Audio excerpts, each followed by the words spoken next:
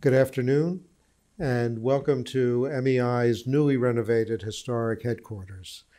I'm Jerry Feierstein, Senior Vice President here at the Middle East Institute, and I'm pleased to welcome you to today's book talk with MEI scholar Tom Lippman. In his new book, Crude Oil, Crude Money Aristotle Onassis, Saudi Arabia, and the CIA, Tom tells a story of a little known but significant event in the U.S. Saudi relationship that combines all of the facets of a swashbuckling story of corporate intrigue, a spy thriller, and a political drama centered on the growing fractures in Saudi society and government as the Al Saud family and their inner circle coped with the death of the kingdom's founding patriarch, King Abdulaziz, and the rise of his successor, King Saud. The dispute at the heart of Tom's book and the response by the Eisenhower administration provides important insights into the nature of the U.S. Saudi relationship and draws parallels between historic and current tensions in that relationship that are as relevant as today's headlines. Tom will sign copies of the book after the event. Thomas Lippman is an award winning author and journalist who has written about Middle Eastern affairs and American foreign policy for more than three decades, specializing in Saudi Arabian affairs, U.S. Saudi relations, and relations between the West and Islam.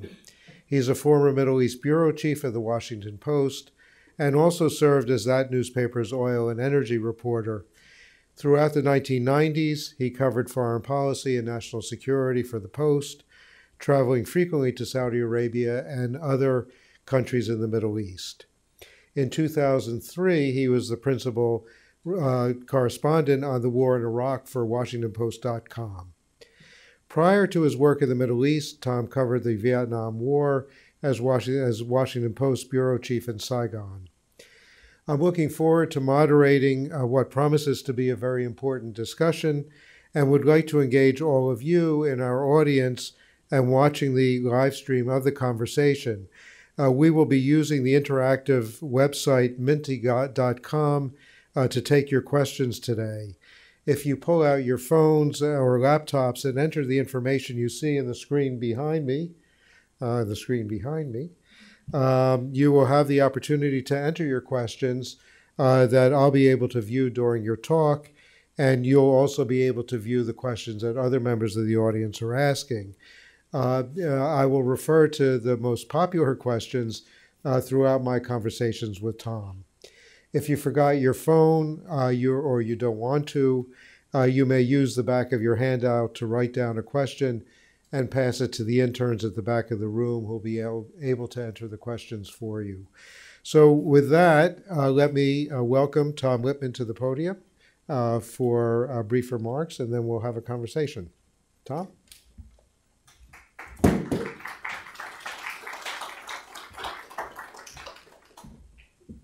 Thank you very much, Jerry. It's a pleasure to be here this afternoon. I will say I'm going to I have to revise my biography to take out that business about Vietnam. It just tells people how old I am. Um, I, probably everybody in this room knows that there is a very long and very complicated and intricate relationship between the United States and Saudi Arabia, which has been one of the world's most improbable partnerships since it was forged during World War II and immediately thereafter. Um, you couldn't find two countries that were more polar opposites than the United States and Saudi Arabia in, let's say, 1945. This giant industrial powerhouse of world renowned research and industries, and a country that fundamentally was a still a, mostly a primitive, undeveloped society when Franklin Roosevelt met King Abdulaziz uh, in that famous meeting in the Suez Canal uh, on, when Roosevelt was uh, on his way home from Yalta, you had this patrician from Harvard and a desert ruler who had sword scars on his body. And yet somehow they hit it off. And the relationship has always been as useful as it was improbable. Nevertheless, over the years, there have been many, many issues that have arisen of serious disagreements between the two countries The relationship has always survived because both countries found it useful and even necessary. Many of those issues uh, would be familiar to almost anybody in this room, and a lot of them to the American public at large, including, of course, the uh, Arab oil embargo and 9 11. Um, and there were others that are less well known, such as the anger of the United States government at the discovery in 1988 that Saudi Arabia had secretly acquired nuclear capable missiles from China and had them parked out of the desert manned by Chinese crews and would not let the Americans inspect them. Um, many of those issues were well publicized at the time and are well known in the books. The one that is at the core of this book is about a relatively unknown, hardly mentioned in the history books, dispute between the two countries that seriously threatened a permanent rupture in the relationship in 1954. I came across it several years ago when I was commissioned by a publisher in Saudi Arabia to write a biography of a gentleman named Abdullah Suleiman al Hamdan, known as the Minister of Everything, because for the entire history of the kingdom, going back even before its official founding in 1932, uh, Abdullah Suleiman had been the right hand man to King Abdulaziz and had been responsible for everything from the acquisition of weapons to managing the pilgrimage to conducting the negotiations, the price negotiations with uh, the Aramco Oil Consortium. And it was Abdullah Suleiman who signed the contract with none other than Aristotle Onassis that touched off the argument and the events that we're going to talk about today. So I won't go into them in any great length at the moment unless you want me to run through the narrative. your, it's your uh, plan. All right, briefly. Briefly, the uh, it, as you know, throughout the Middle East and pretty much in the, the world, the oil business was developed by large international, deep pocketed American and European oil companies that had the capital and the technology to do what the countries that had the oil couldn't do for themselves. And that's Saudi Arabia, Iraq, uh, Iran, Venezuela, Nigeria, uh, Angola. They could bring in the equipment, the trained personnel, the engineers, the transportation, uh, the chemistry to develop the oil industries. And in most of those countries, the foreign company would get a concession, it basically would split the proceeds with the host country, often on condition that the foreigners train the locals over time so that the foreigners would work themselves out of a job. And that was pretty much the way it was. The Americans ran the oil business and Abdullah Suleiman collected the money on behalf of the king. And they were constantly trying to renegotiate the price, of course.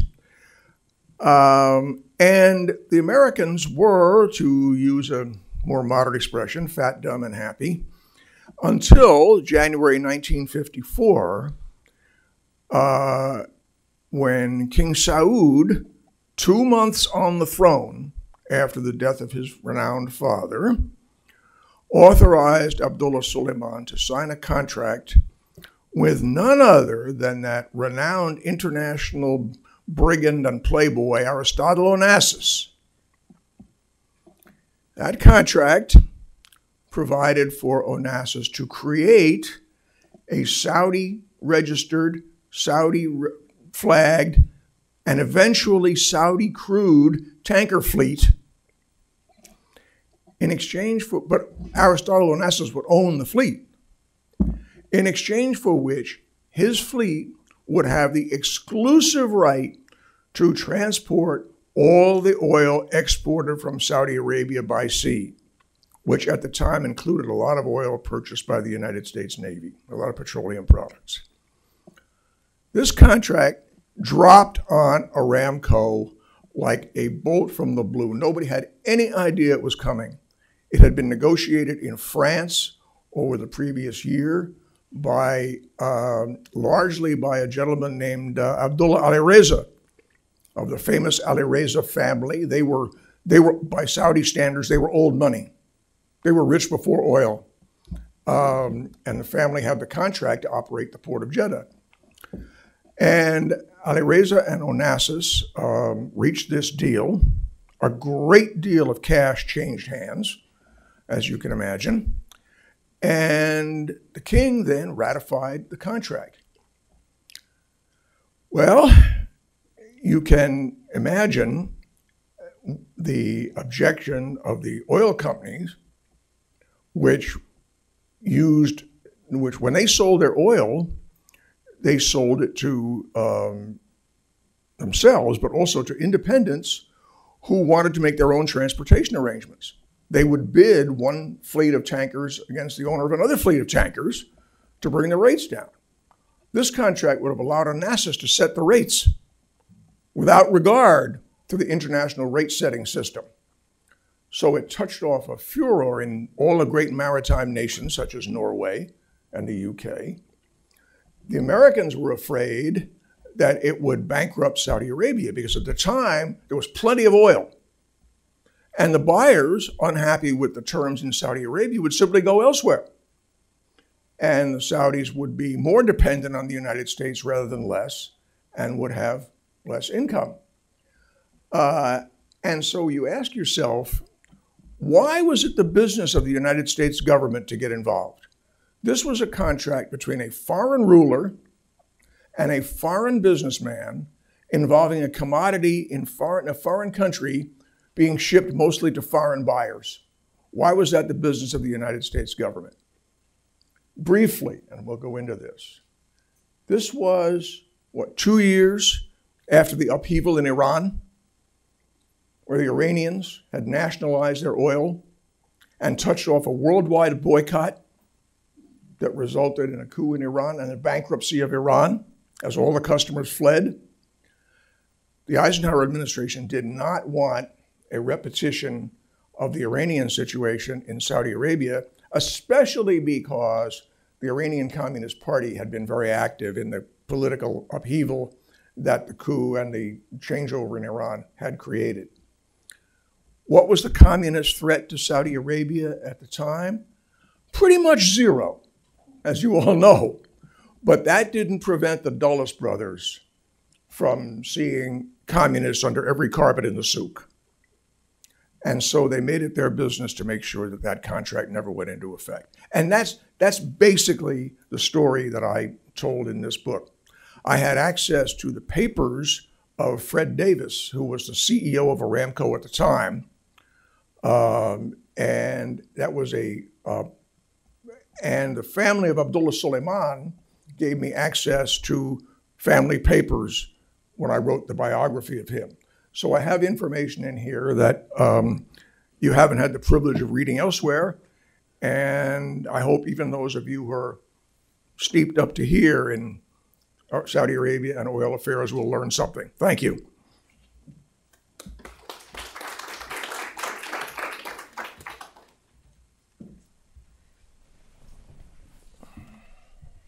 Thank you, Tom. And I was afraid that you were going to give away so much of the pot that people wouldn't need to buy the book. But I think that nope, that didn't work. You uh, you saved a, a few uh, a few of the tidbits for uh, for later.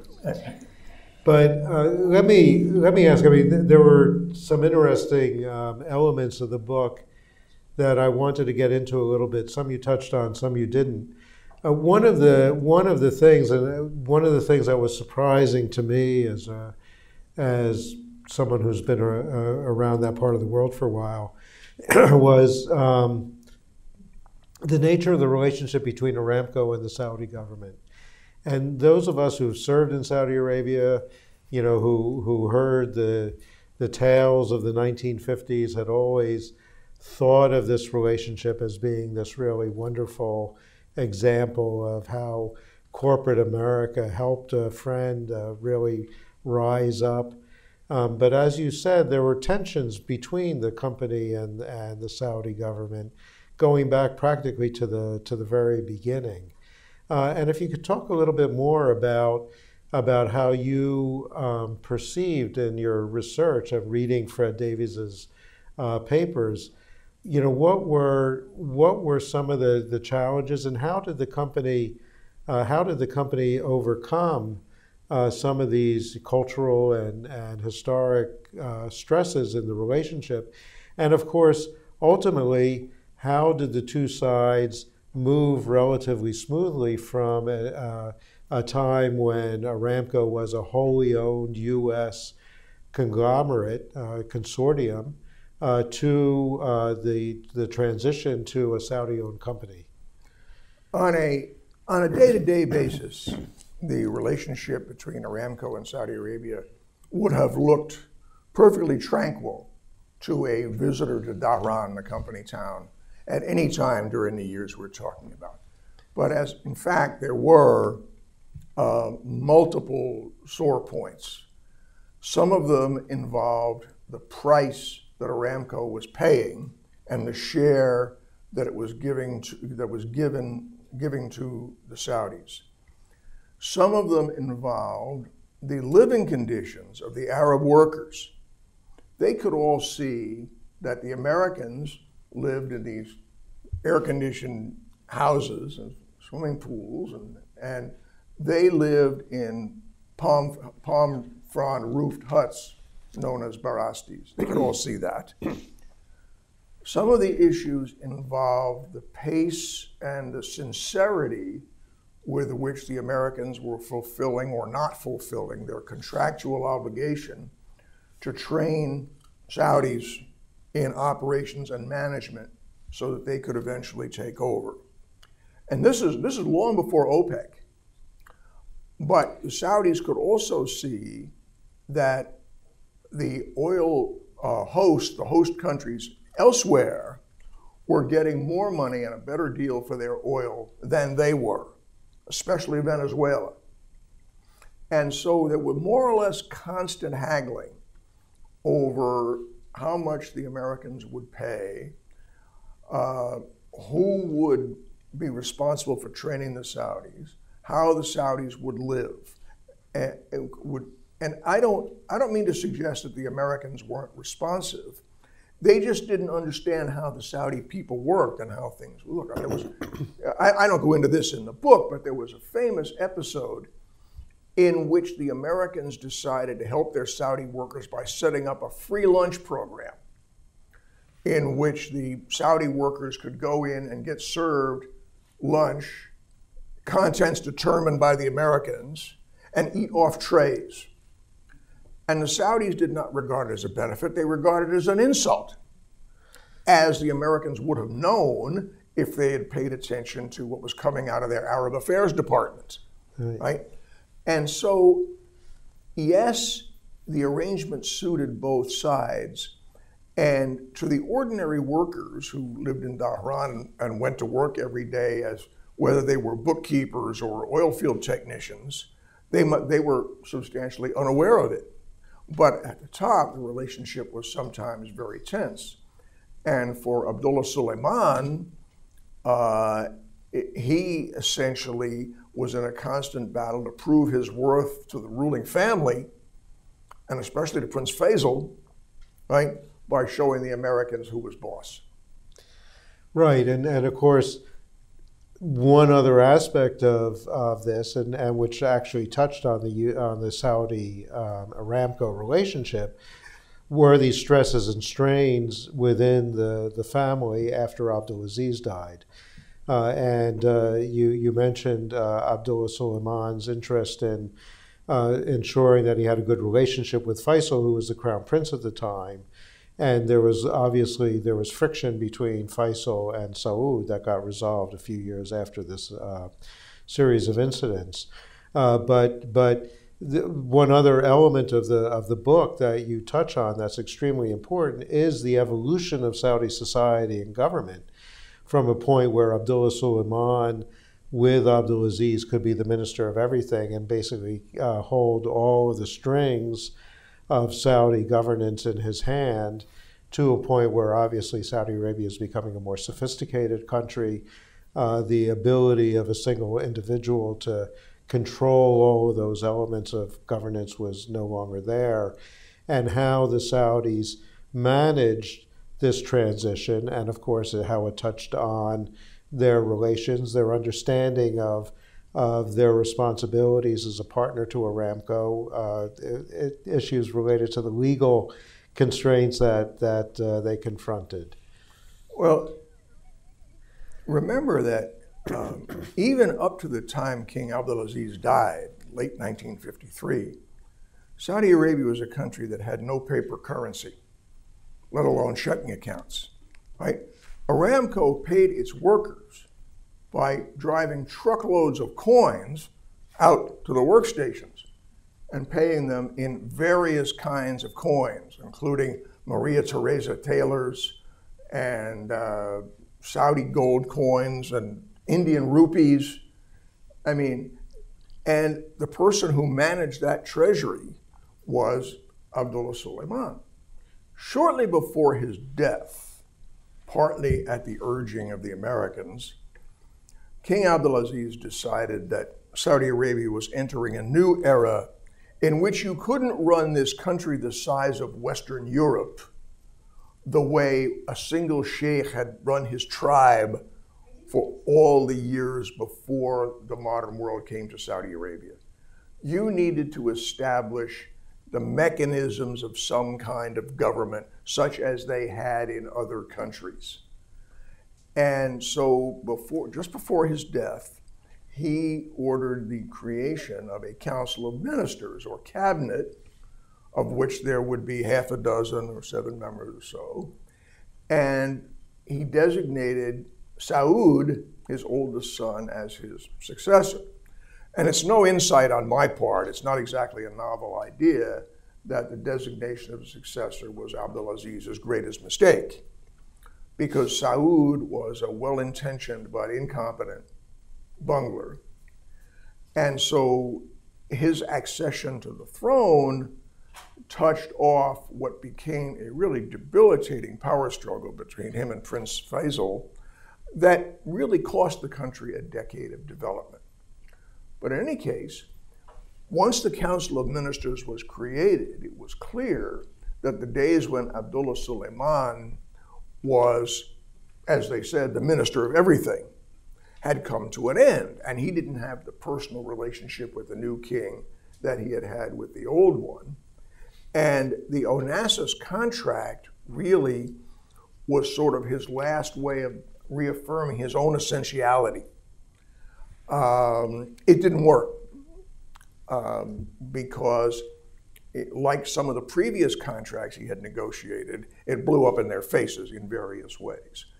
Remember that Saudi Arabia got rich, or was getting rich, before it had any ability to manage the money. The Saudis were to, and, and they it, it wasn't like today when everybody in the Saudi cabinet has a PhD from the University of Michigan, you know. It, it, they were sitting ducks for entrepreneurial freebooters from all over the world so that they didn't know the difference really between Bechtel and, you know, fly by night are us over here. And they got fleeced on some contracts. And the, Faisal held Abdullah, Abdullah Suleiman responsible because he was the one who brought those contracts in. So that the country was sort of purging itself of its past and lurching into the future. At the same time, you had this internal transition in the ruling family. Right. And of course, um, speaking of freebooters, uh, another aspect of your book that, uh, that really uh, is quite fascinating and, and uh, one of those historic uh, um, uh, kind of, of facts that that many of us might have remembered from our youth, but uh, but maybe not so much today, is this whole issue of the Greek uh, shipping tycoons, uh, Stavros Niarchos, and of course one of the uh, the key actors in this book, Aristotle Onassis. Uh, who many people remember as the husband, uh, second husband of Jackie Kennedy, but uh, but also had a career before that as a, as a shipping tycoon. And a little bit about, about how they um, got involved with the Middle East, uh, the, uh, the intense conflict between Onassis and his competitors in the Greek shipping industry, and and that whole aspect of of how one moved um, oil from from uh, from the Middle East to markets in Europe and the West. Well, here we go directly from the Financial Times to the tabloids. In in terms of talking about the Greeks, particularly Onassis. Um, briefly, for those of you, well, a lot of people in this room can actually remember Aristotle Onassis, I suppose. But he, the, the people collectively referred to as Greek shipping tycoons were sort of the dot com billionaires of their day, right? They had vast amounts of money and they were involved in all kinds of businesses and controlled vast fleets that moved the commerce of the world. Um, Onassis had fled what is now Smyrna when the Turks retook it after World War I and basically set out to purge it through massacre, if necessary, of its Greek population. And he fled to Argentina, where he first made money in the tobacco business, partly by um, dousing the tobacco with salt water and claiming the insurance money, which was easier than actually selling the tobacco. I found that out from the FBI files on him. Um, and he gradually got into the shipping business like many other Greeks. Um, and like any other ruling family, they had really, really intense internal conflicts. Onassis' biggest rival was his brother in law, mm-hmm. another Greek shipping tycoon named Stavros Niarchos. Niarchos' name can be found on a public library branch on Fifth Avenue in New York and in a room at the Museum of Modern Art endowed by his foundation, even now. Um, so, whatever they spent their lives outdoing each other on this, that money, women, yachts, whatever. So, when Niarch, and they, they basically detested each other. So, back up to how this came about. In the early 1950s, there was a small time Greek shipping operator, uh, went to Baghdad in pursuit of a business deal. And he worked out a thing with the Iraqis similar to the arrangement that, the, that Onassis later did with Saudi Arabia. You guys are shipping all this oil on other people's ships. Why don't you ship it on your own ships? And I can help you do that. Nothing ever came of that because guess what? There was a coup in Iraq and the new government wasn't part of it. But the idea was in play now. So all these Greeks hung, hanging around in the same watery holes on the Mediterranean knew each other. And this guy sold the idea to Onassis, who authorized him to negotiate with the Saudis. Well, he didn't know any Saudis, but he knew somebody who did. Um, I mean, and he got to a gentleman named Abdullah Ali Reza. And Ali Reza also spent his time on the Mediterranean and undertook to arrange this contract for Onassis in exchange for a substantial payment and for a retainer that he would earn monthly as Onassis' agent in the kingdom. Now, parenthetically, was that bribery? Was that corrupt? Well, by our standards, it would be today. But in those days, that's the way business was done in Saudi Arabia. If you accompanied the ruler or the Ghazi on a raid, you got a share of the spoils. If you brokered a deal, you got the finder's fee. That's the way you made your money. The king never saw it as bribery. And so Ali Reza negotiated this, um, this contract. Yeah, unfortunately for um, Onassis and Ali Reza, the uh, the middleman, believe it or not, I'm sitting here. I can't remember the name of the middleman. I wrote whole chapters about him in this book, right? Um, the Catapodis? Yeah, Catapodis, right. Yeah. The middleman, Catapodis, was supposed to get a substantial finder's fee, right? And Onassis stiffed him. Right? That upset the gentleman right? And so he began providing information to Onassis's opponents, including, of course, Stavros Niarchos, right, whose pockets were almost as deep as Onassis's, and set out to do what he could to undo the deal. Remember, they were married to sisters, right, at the time. Later on, both split from their wives, and Niarchos married Onassis's sister, sister wife, after shedding his own. But that, that was before he married Charlotte Ford. Um, so, you know, trying to sort this out was almost as difficult as sorting out internal Saudi politics. Uh, and Niarchos had contacts in Washington, many of which were um, employed at the time by an outfit known as the Central Intelligence Agency. And so they jointly were sort of on the case. In July of 1954, there was a meeting of the National Security Council at the White House at which Eisenhower presided. And this was six months after the contract had been signed, and after everybody had finally seen it and knew what was in it and knew who all the players were, which took months. And they approved a national security policy document for the Middle East, which Eisenhower signed off on. There's a wide tour d'horizon of the situation in the Middle East, where things were promising, where things looked troublesome, where there were threats from the communists, right? What to do about it, what American policy should be. The only person mentioned by name in that document was Aristotle Onassis. because one of the policy, one of the action items approved by the president that day was to make sure that the Onassis contract never went into effect because of its, what they saw as its troublemaking potential. And so now the CIA had a new mission and was getting information from Niarchos. Um, but the CIA also wanted to deploy its own agent to work on this. Here was part of the government's problem, of the US United States government's problem. The United States government, like Aramco, wanted to undo this contract and put the Saudis back on the straight and narrow. But nobody wanted to be perceived as bullying or giving orders to the king because I'm going to get my notes back off the lectern here.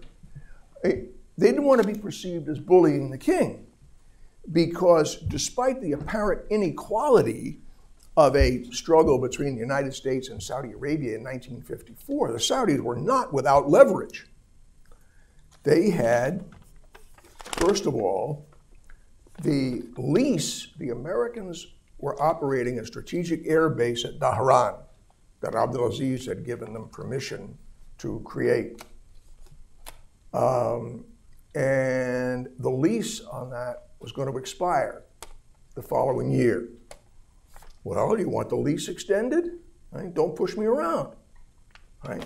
Second, um, the king had the power ultimately to revoke the American concession in its entirety and give it to BP or Total or some other company. The Americans certainly didn't want that to happen.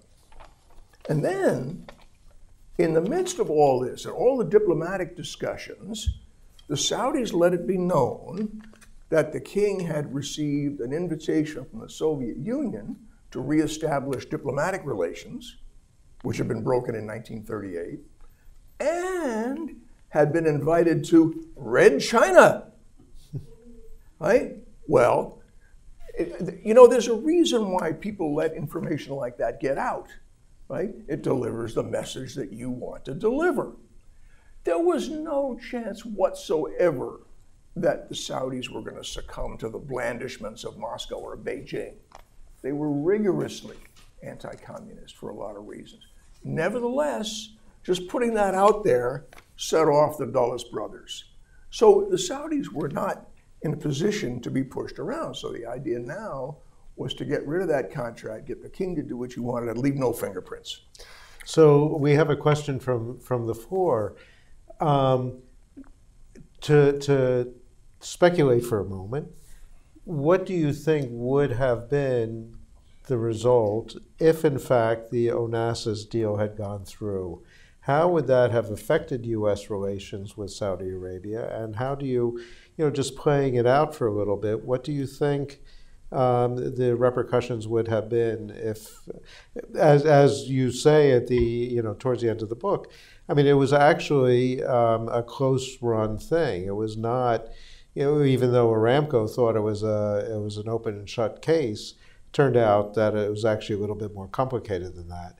So if, in fact, uh, the Saudis had uh, come out and and uh, been able to implement that contract, what do you think would have happened with well, the U.S.? based on what we've seen in the 60 years of ups and downs in this relationship ever since, I think eventually, if the Saudis had gone ahead with it, um, the Ameri- there would have been upheaval in the shipping business and the Americans would have found a way to keep the strategic relationship intact.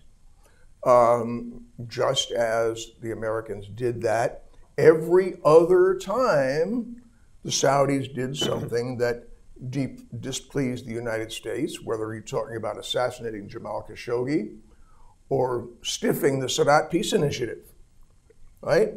because the relationship was strategically and economically useful, the Saudis actually had a lot of leeway, and the Americans had to decide to what extent to throw their weight around. And remember that at this, at this point in 1954, there were several other points of friction between the United States and Saudi Arabia already in play.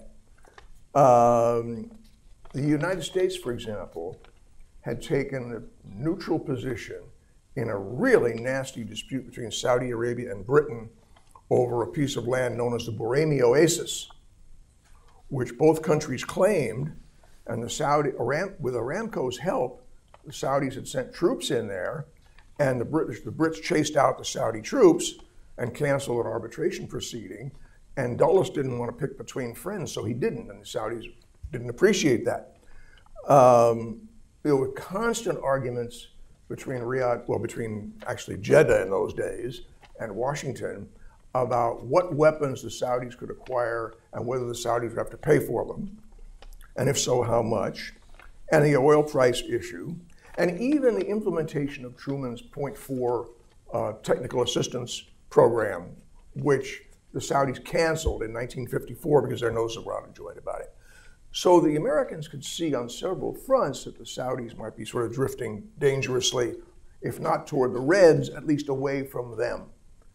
And then, as now, Saudi Arabia was an important pillar of American policy in the region. Um, and so I think what would have happened is that the oil companies would have sucked it up, and indeed the Saudi oil sales might have gone down but it wouldn't be the oil company's problem because what were they going to, do? Yeah. Right? Um, uh, you know, go to Germany, right? Uh, and the Americans would have let it happen because they would have had to let it happen. And this has been the pattern in this relationship going back to 1948, the first really big dispute when the United States was the first country to recognize Israel. Other Arab leaders, led by Shukri al Quwatli of Syria, insisted that Abdulaziz cancel the American concession over that. And Ab- Abdulaziz basically said, Easy for you to say, my brother, this is all I have. And he didn't do it, right?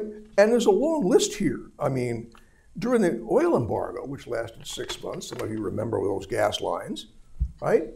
Uh, Henry Kissinger was denouncing the Arabs as savages. You know, you can buy transcripts of Kissinger's phone calls. They'll send them to you on a CD. I mean, it's, it's, it's just amazing uh, to hear what he was what he said in real life. You know, anyway, you don't you don't get the, you don't get the accent when you read the transcripts, but savages. I mean, really. Um, and then you had the uh, the SS 20 missiles. Um, in 1992, many of you may know Ambassador Chas Freeman, who was ambassador to Saudi Arabia during Desert Storm. Get Freeman, Ambassador Freeman, to tell you what it was like to go around Saudi Arabia with his begging bowl to get the Saudis to pony up $16 billion to cover the cost of Operation Desert Storm. Darn near broke the country. Saudi Arabia had to go into the into the money markets to borrow money. Um, and you know the Saudis opposed the U.S. invasion of Iraq, so there were a lot of issues. But look what happened when we just when we the Americans discovered those Chinese nuclear-capable missiles. The Americans were furious. Um, the State Department sent a senior person to tell the Saudis basically, congratulations, you just moved yourself to the top of Israel's target list.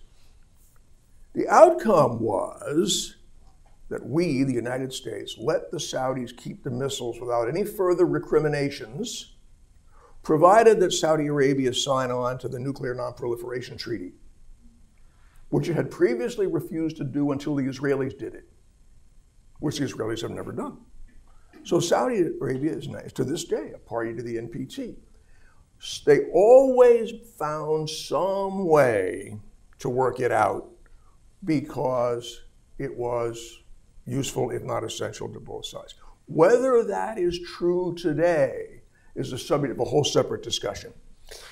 Right, and and uh, of course, again, I, I think that uh, interest in the audience. I mean, you know, because today is the first anniversary of the murder of Jamal Khashoggi, and and the question is, you know, how does how does that fit into what you uh, what you rightly describe as a, a, pattern of of crisis and and resolution that goes back in the relationship to the to the uh, very origins of it. Um, you know, is the Khashoggi murder different, uh, or do you expect that somehow the U.S. will be able to at some point figure out how to accommodate this and how to move on? I think that's already happening. And my first exhibit would be the guest list at the forthcoming investment conference in Riyadh. A lot of people who got up on their righteous high horse and decided not to go a year ago after the Khashoggi killing are going back this year because that's where the money is. And so I, I think what's likely to happen is that it'll be like the 19th year of Nelson Mandela's imprisonment. You know, I mean, yeah, it's really too bad. But meanwhile, and I, that's what I think is going to happen. I'm not proud of it. But there's another thing to consider. During these years, during all these years, you had people like King Faisal and Jim Baker working on these issues. You had people of knowledge, vision, sagacity, right? And and disciplined temperament working on these issues. I, I, would challenge you to identify the roster of people who fall into that category in these two countries today. Hmm. Right, and, and the other thing, and, and again, I you know I think that there's some interest in the audience. I mean, the, the other issue is there there is a conceit in the United States today that in fact Saudi Arabia is no longer that important for the United States. I mean, you hear it from the president himself, even though he's got this very close relationship with Mohammed bin Salman. But you know, this whole idea that well, after all, we're energy independent, which is not true. Um, and we're not, uh, you know, concerned about what happens. Uh, that what happens in the Gulf on oil doesn't affect us. Also not true. Uh, but but there is this theme in in American society and government today that, in fact, we can discard with this relationship because the Saudis don't actually do anything for us. Well, the question of what the Saudis do for us a couple of years ago, I was part of a group assembled by professors at George Washington University to address this very question, right? Why do we need to have, what is it, 50,000 troops in the Gulf? The United States has troops from Incirlik to Diego Garcia, right, all across the Gulf.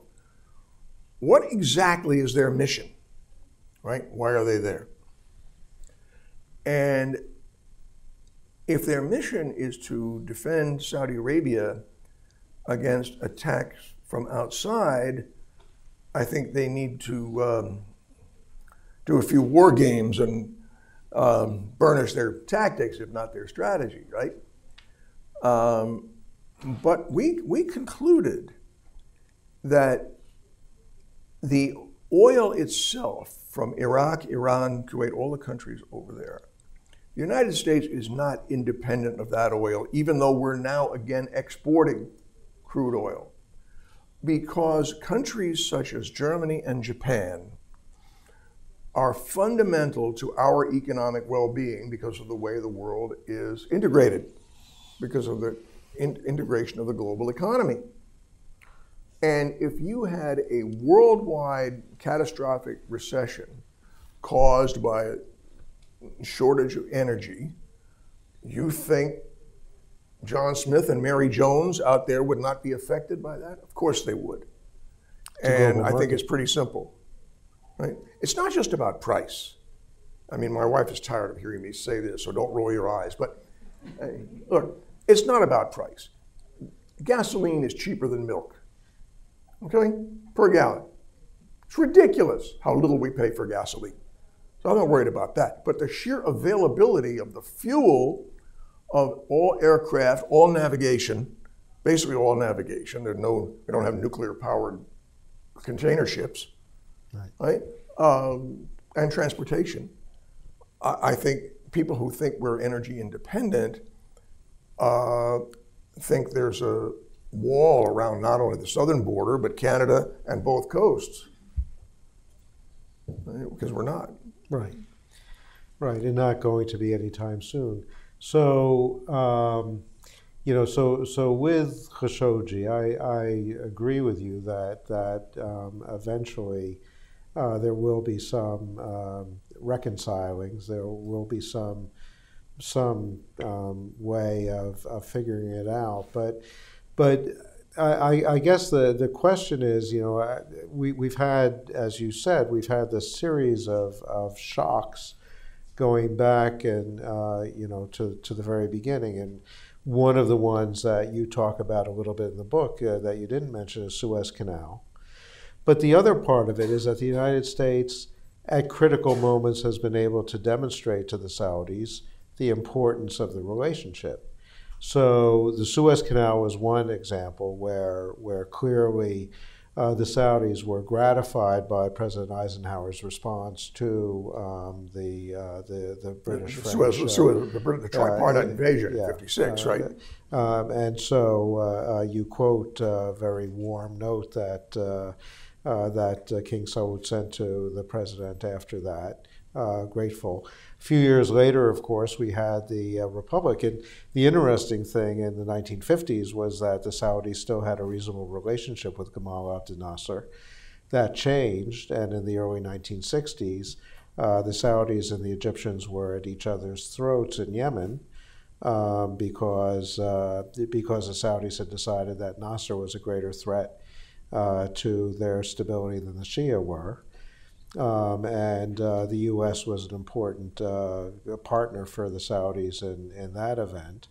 And then, of course, you fast forward to 1991 uh, and uh, and the, the first Gulf War and the invasion of Kuwait. So, so there have been moments, and I, I think you could probably also throw in 1979, um, the Iranian Revolution, but also the Soviet invasion of Afghanistan. So there have been while there have been these these uh, periodic crises in the relationship, there have also been periodic moments where the importance of the relationship has been clear to both parties, uh, and that we have been able to to recognize the the essential nature of that uh, bilateral relationship. Well, let me, let me let me go back to Suez for a minute, mm-hmm. just because Suez becomes actually an important element in this book, right?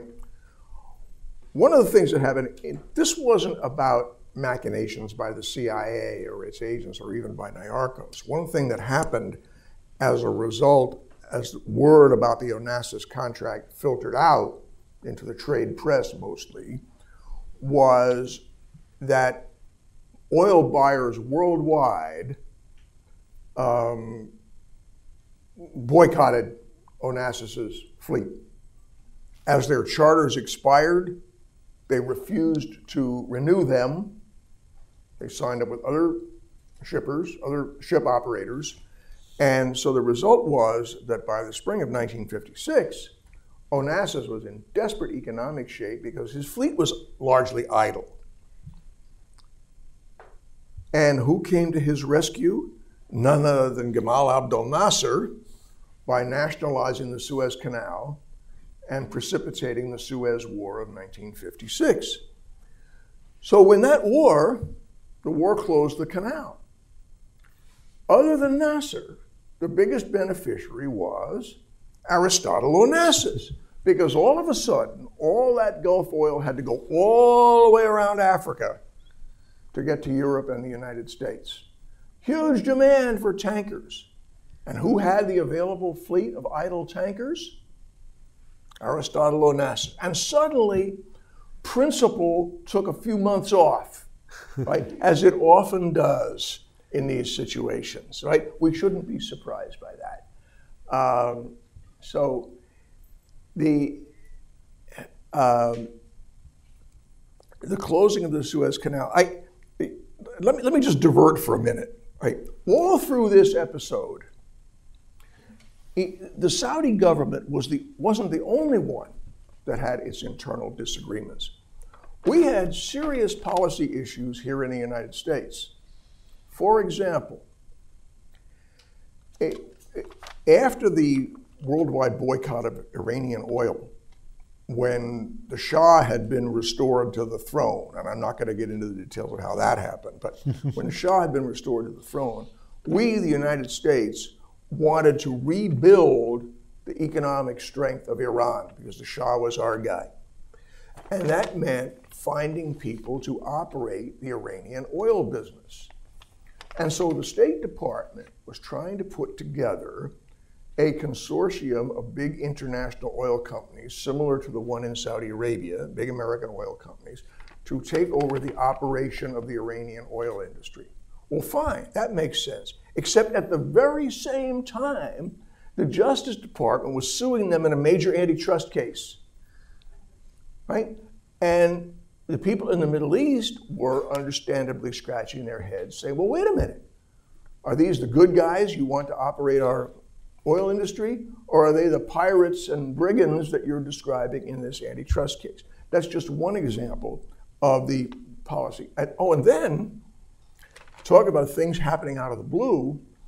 In the fall of 1954, while all this was going on about Saudi Arabia, the Peruvians, the Peruvian Navy seized five vessels of Onassis's whaling fleet. Yes, in addition to all his other admirable characteristics, Onassis was a huge operator of commercial whaling ships. Okay, so you can, and I, I, was unable to resist the temptation to put this in the book. Not only was he not ashamed of it, he flaunted it. When Greta Garbo visited him on his yacht, he made a point of telling her that the bar stools were upholstered in whale foreskin. Anyway, back to the Peruvians. um, is that why she wanted to be alone? the Peruvians, Peru, Ecuador, and Chile announced the creation of a offshore limit. I think it was 250 miles. Well, we, the United States government, of course, did not recognize that offshore limit, nor did other governments. Until the the Sea Treaty. So, when Onassis' whaling ships went inside the 250 mile limit, the Peruvians seized the ships to enforce their new limit. That put us, the United States, in the strange position of being on Onassis' side in the dispute with the Peruvians at the same time we were trying to decapitate him in his dealings with Saudi Arabia, right? Uh, and so you had the Next chapter, or previous chapter. A month before the signing of the contract, the oil contract with Saudi Arabia, Onassis was indicted by a federal grand jury here in Washington on charges of defrauding the Navy in the purchase of surplus ships after World War II. And the indictment was kept secret until such time as Onassis showed up in the United States and could be arrested, which duly happened just about the time Abdullah Ali Reza and um, Suleiman Hamdan, so Abdullah Suleiman, were finalizing the contract. Right? Onassis was having a lunch at a high end restaurant in New York, and he was arrested by the FBI on charges uh, uh pursuant to that indictment.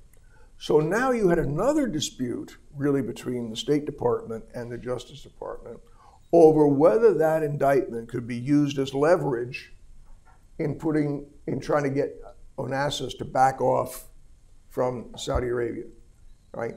And so you can understand that by the time this issue got to Eisenhower's desk, the volume of paper had reached epic proportions, and there were serious internal disputes within the United States government. One of the first things that happened was the State Department sent a message to our ambassador in Saudi Arabia asking the king to omit the Navy from the requirement that the fuel be transported in the ships of, of Onassis' fleet. And the king agreed, like that.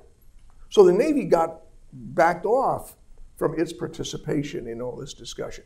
And so all this, of course, was imperceptible to the public, as were the machinations in Saudi Arabia. But they became an important part of the story.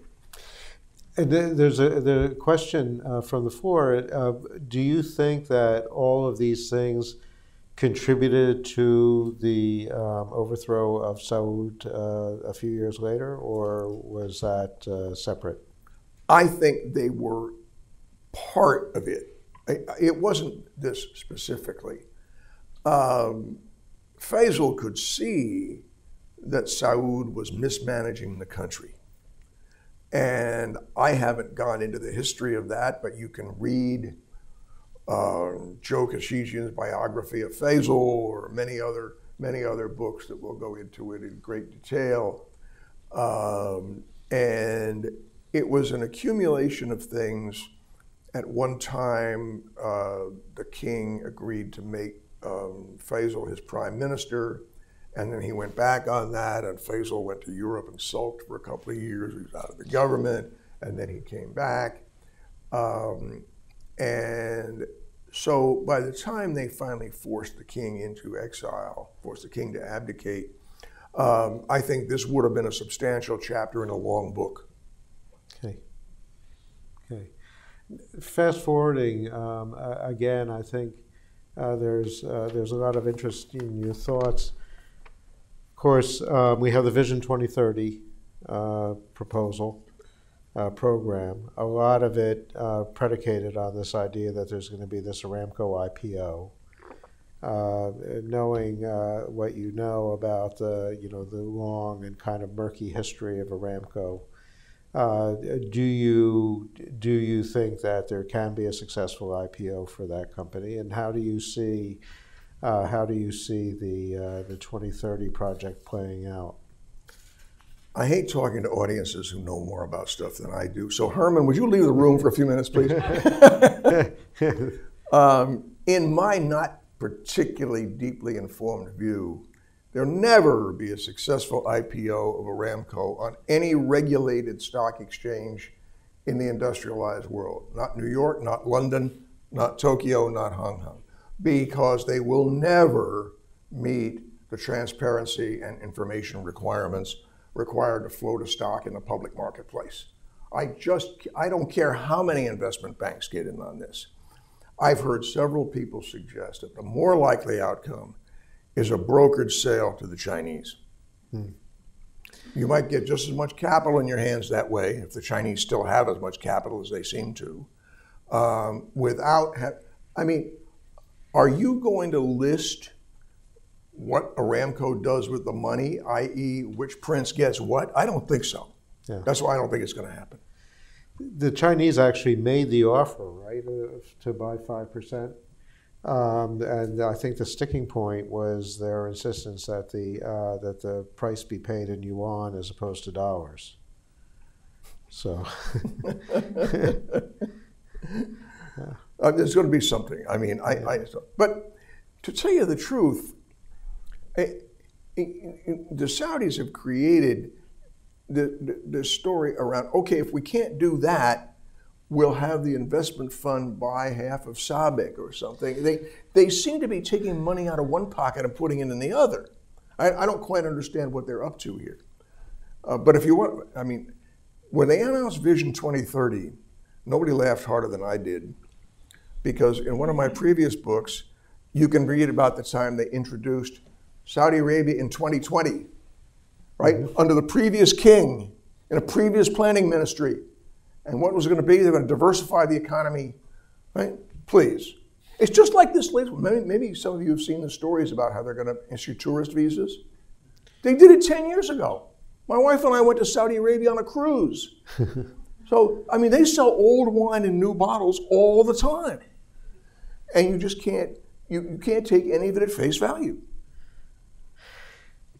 You know, I, I mean, uh, one of the major again one of the major sub themes of, of the book is this whole issue, and, and you touched on it in, in your earlier comments. I mean, this whole idea that the idea of paying commissions long, you know, long established uh, in not only in Saudi Arabia but throughout the Middle East. I mean, this idea that that this is all a way of doing business there. Otherwise, you know, most parts of the world considered to be corrupt, corrupt practice.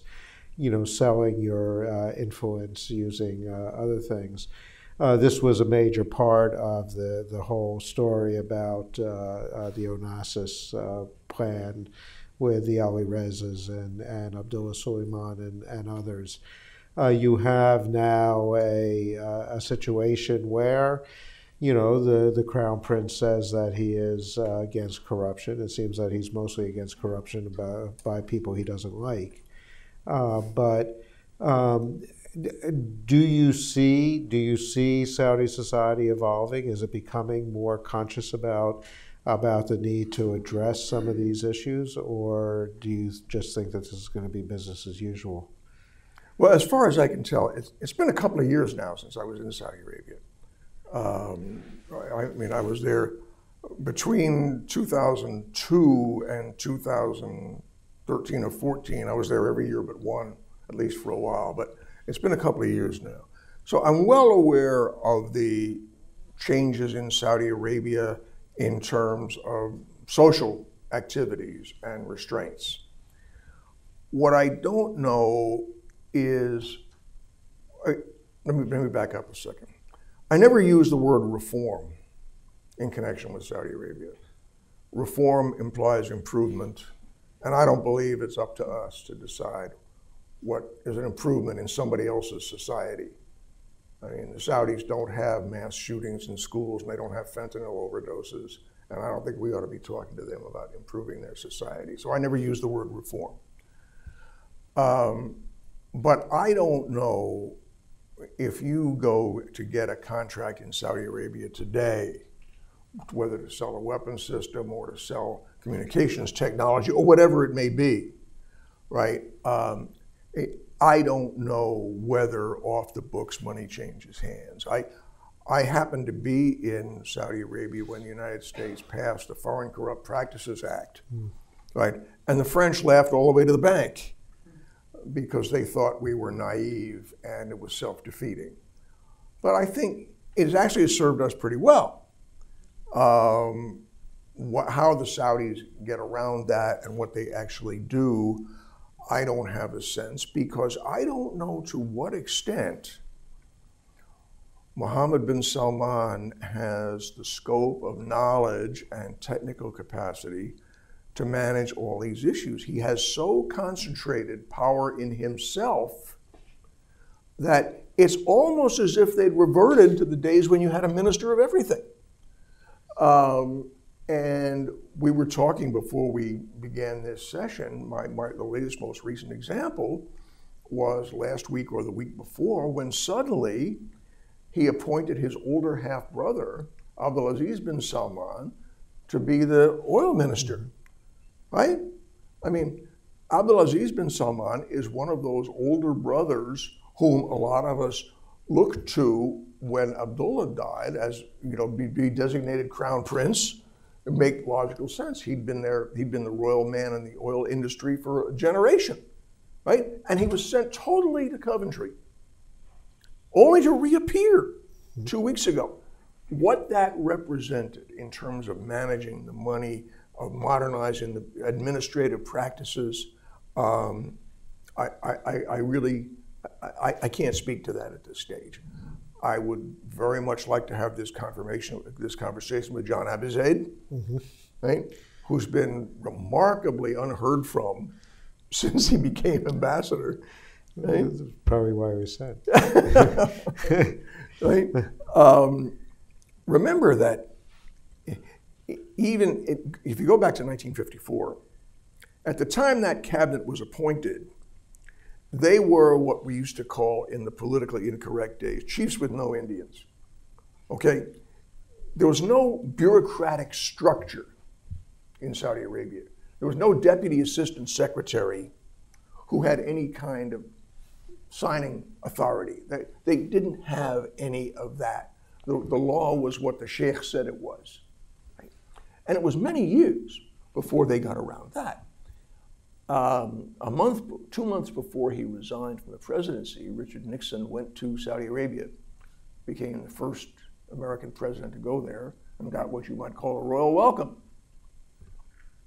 And one of the consequences of that visit was the establishment of the joint, the Saudi Arabia-U.S. Joint Economic Commission, which was run out of the Treasury Department. Mm-hmm.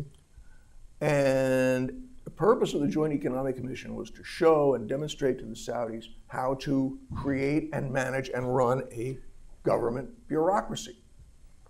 And from 1954 until the, until the Clinton administration, we had hundreds upon hundreds of U.S. civil U.S. government civil service, from the Commerce Department, the Postal Service, from Customs, whatever, seconded into their counterpart offices in Saudi Arabia to show them how to do things, how to calculate a consumer price index, uh, how to collect customs duties, how to run a census. Yeah, yeah. We need to, those people back. How to run a census, right? um, and so, whether today, and, and a lot, frankly, a lot of government departments came out of that in Saudi Arabia, operating with reasonable competence. I thought, mm-hmm. In, in my experience with them, you know, they they run a pretty good airport yep. in, in, in Saudi Arabia, just, just as an example, right?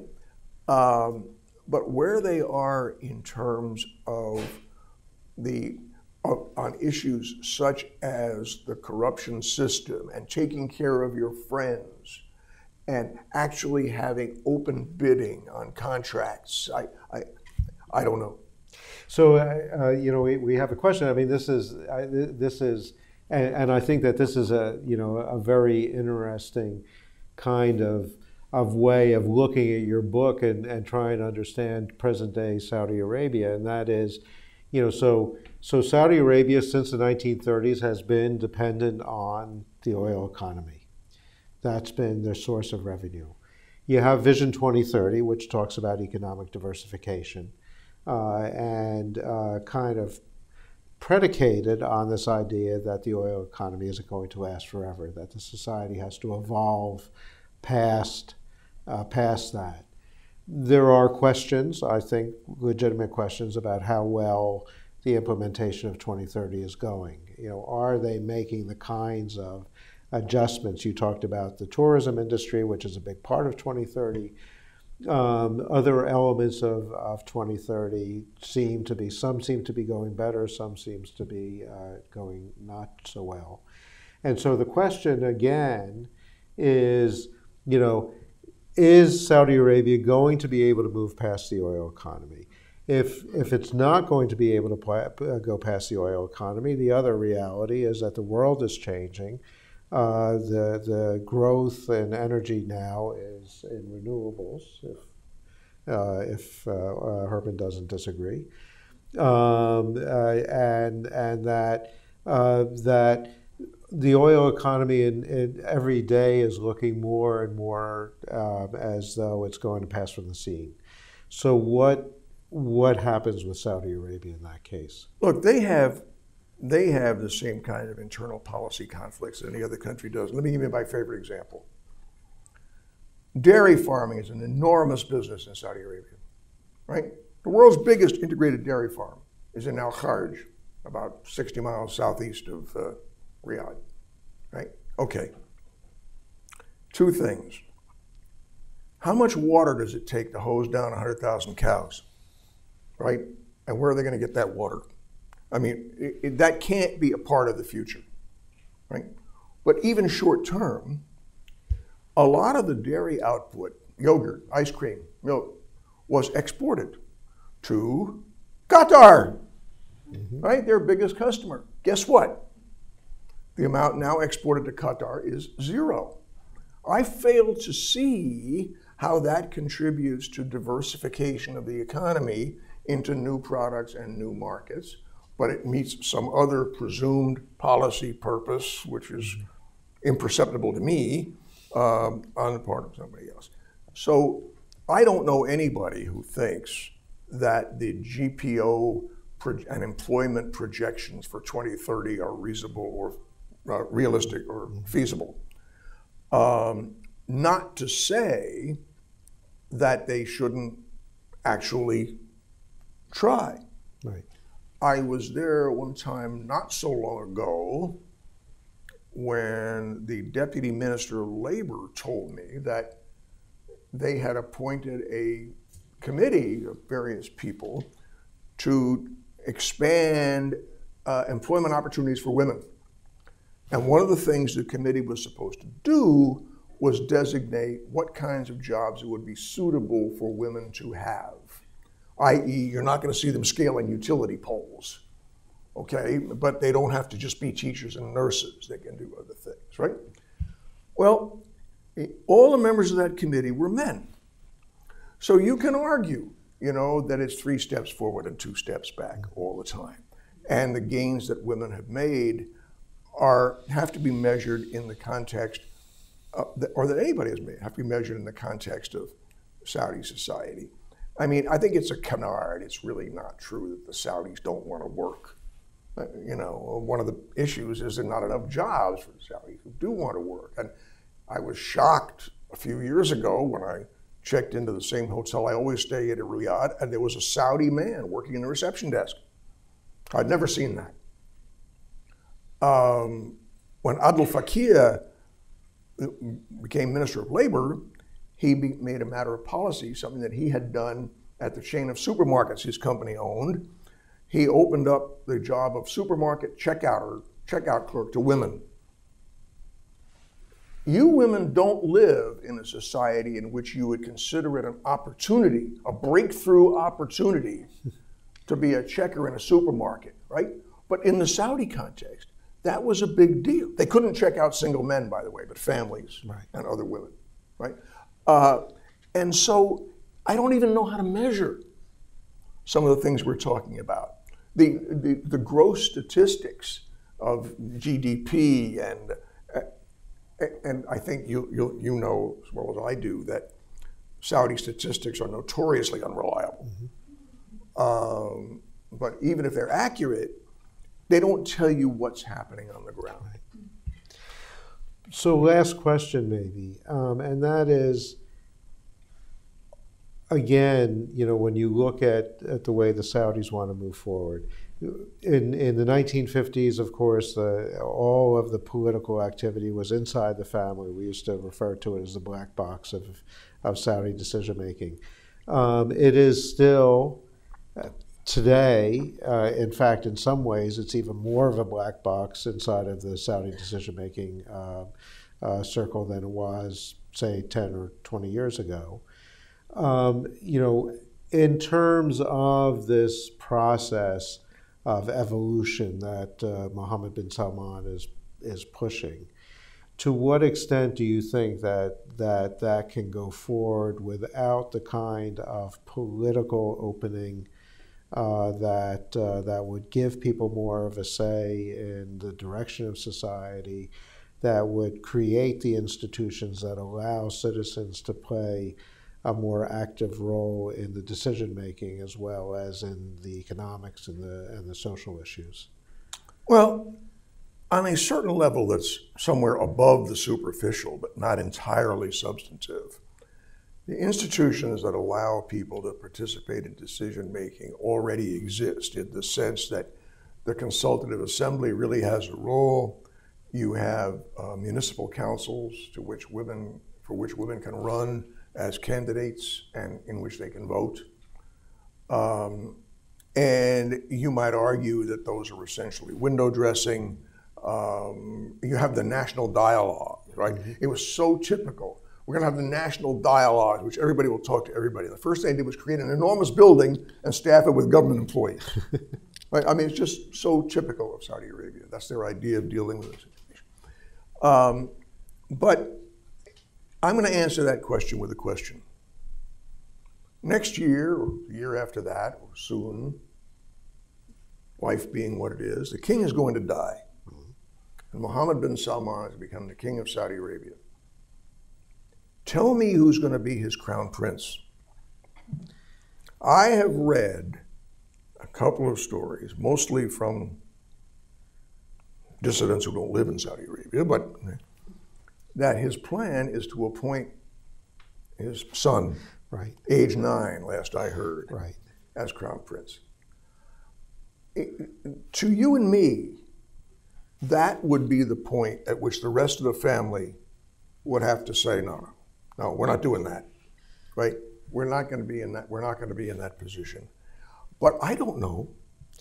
You that idea has been out there actually for for a few years. That that the intent was uh, to to eliminate this kind of horizontal succession and make it a vertical succession, a succession, succession within the, the kind of Bani Salman uh, maybe with with the full brothers families as well. So it would be you know kind of a Sudairi. Sure, fine. But if you have if you have a 40 year old crown prince who's a world traveler, an experienced diplomat, and has an advanced degree from Oxford, fine. But if you have a child, I don't think that's going to work. I want to add say one last thing about the book. Right? One last tidbit I want to throw out there to entice you to read it. Right. The CIA didn't want to use its own agents to squeeze the king. So they hired an outsider, a gentleman named Robert Maheu. Now, some of you may remember him. He was best known as the operator of Howard Hughes's Las Vegas casinos, right? Um, but he was also the CIA's go between in trying to get the mob to assassinate Castro. He was the guy who went to, and negotiate with Johnny Roselli on behalf of the CIA. He was the CIA's agent in the Onassis case. So if you want to find out what he did, I'll be glad to, I'll be glad to tell you in print form. On that note, on that note, I think that's all we have time for today. But Tom, I, I do want to thank you for coming in and uh, uh, spending this time with us. Uh, do encourage, and you're going to be Uh, uh, back there selling selling books and signing them. Uh, and uh, I finished reading it over the weekend, and it's it's it's a jolly good read, as they say. So, so thank you very much. Thank you, thank you, Jay. I appreciate it. Thank you all for being here.